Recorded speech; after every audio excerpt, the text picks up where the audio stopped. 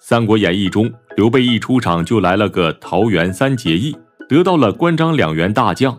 关张虽为刘备部属，但是刘备与二人恩若兄弟。曹操擒获关羽后，为了收拢关羽，各种赏赐应有尽有。可关羽还是不为所动，过五关斩六将，千里走单骑，回到刘备身边。